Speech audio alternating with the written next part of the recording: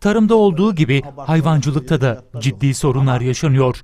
Kırmızı et alarm veriyor. Dünyadaki insanların yaşamı protein kaynaklarına bağlı. Protein de kaynaklarının en önemlisi nedir?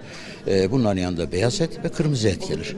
Siz bunu kesme, keserseniz her türlü sıkıntıyı siz davet etmiş olursunuz. Türkiye İstatistik Kurumu'nun verilerine göre Türkiye'de geçen yılın ilk çeyreğine göre bu yıl kırmızı et üretimi %16.5 oranında azaldı. Bu ne demektir? Ee, hayvancılık yapan çiftçilerimizin bu alandan uzaklaştığı demektir. Bu yemle olayı eğer e, bertaraf edilmezse, e, mazot olayı bertaraf edilmezse, tohum, gübre gibi saydığımız girdiler eğer e, desteklenmediği sürece bu e, artışların e, kesinlikle önünü alınamaz. Hükümet ise artan fiyatlar karşısında çareyi ithalatta görüyor. Son olarak Bosna Hersek'ten et ithal etme kararı alındı. Bosna Hersek'ten et ithali noktasında da arkadaşlarımıza gerekli talimatları verdik. Bu hiçbir çözüm değil.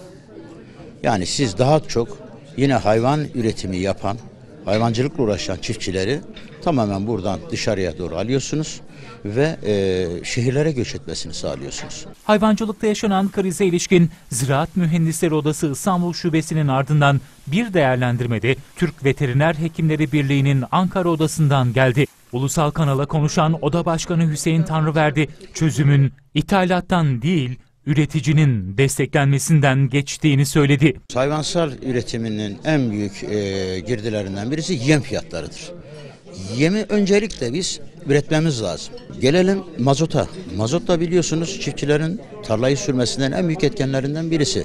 Eğer siz şu andaki fiyatla aldığınız takdirde girdiler bu- bundan dolayı e, pahalı oluyor. Tohum keza öyle, kullanılan ilaçlar öyle, gübre öyle.